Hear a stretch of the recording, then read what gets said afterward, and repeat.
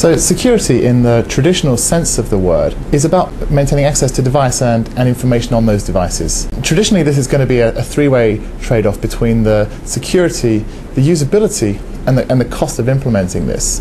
Normally, the focus so far has been on keeping bad things out of your network. So, this is things like hackers, uh, viruses, worms, etc. What we're able to do with data loss prevention is focus on keeping the good things in. So, this would typically be things, you know, your, your customer data, your intellectual property, you know, your corporate plans, mergers, acquisitions that you might be working on, etc.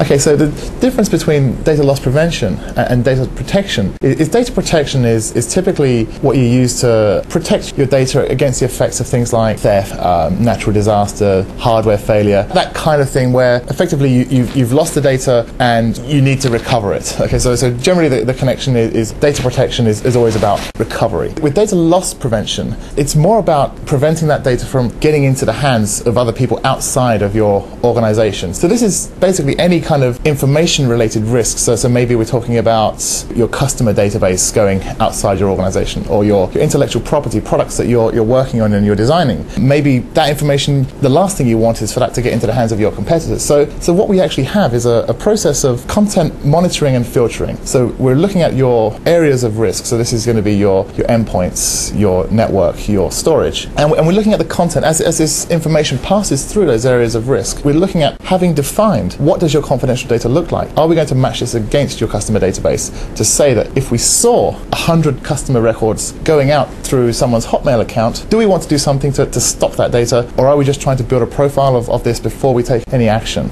There's a number of different ways that the data loss can occur outside of organizations. The majority of data loss that we see is always accidental. This can manifest itself in people who are, you know, they, they lose their laptop, they leave it in a taxi, leave it in the bar or something else. It contains non-encrypted data. So as soon as someone has access to that laptop, they, they therefore have access to all the data which is on that laptop. Uh, the same thing applies to, to USB. So again, what we want to be able to do is help customers audit this environment, understand what confidential data is on these devices, and then they can take the most appropriate action to secure them. The other area of data loss which we see is things going out through the network, such as going out from their corporate email um, infrastructure, or maybe people logging into their personal mail accounts, so things like hotmail.com, Yahoo. So, so people generally are just trying to do their job. They want to send some information home to, to go and work on it there, or they want to uh, send some information to a partner. But, but what people are kind of losing track of is that once that information exists outside of your organization, you, you no longer have any control over it. That data can then be sent to other people.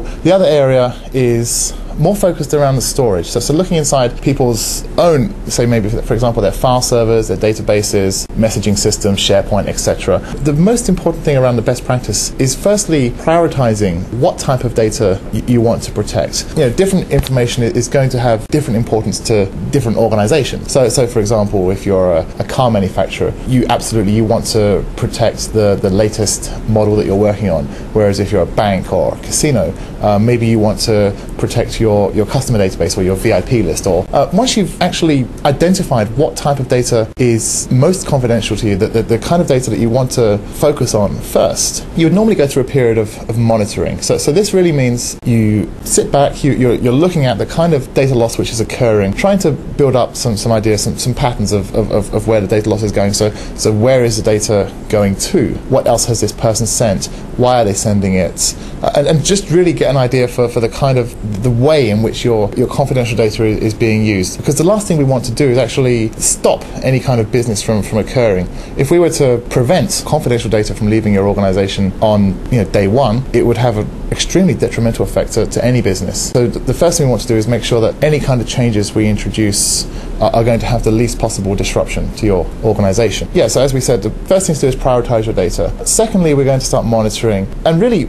once we kind of have this idea, we're going to find that a lot of the data loss which is occurring is due to things like you know broken business processes, people not realizing that they're sending confidential information. So, so once we kind of have this understanding, we've changed those business processes, we've identified where this confidential data should be allowed to go, where it shouldn't be allowed to go. We can then start switching on things like notification. So, what this allows us to do is to say that when data loss occurs, we actually tell the person who um, actually violated that policy. So, if they copy data to USB disk, or if they email the data to some place outside of your organization organization, we're able to quickly tell them, sorry, you've done something wrong. And, and they get to connect those two events. They, they connect the data loss with actually the pop up warning on their screen or the, email in their mailbox telling them this. Typically, we'll see the, the biggest reduction in data loss will, will definitely occur after we enable the notification, uh, just because of the, the way people's minds work. And lastly, we will look at the prevention. What this allows us to do is to say that when we detect data loss occurring, what do we want to do? Once, we, once we've managed to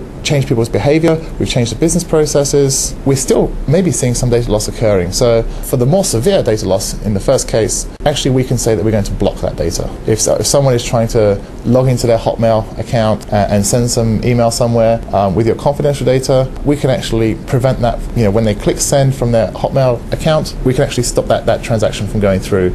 Uh, same thing is if they're sending email from their enterprise account or they're send, you know, copying data to USB or whatever the, the case might be, we're actually able to stop that, that information from, from leaving your organization.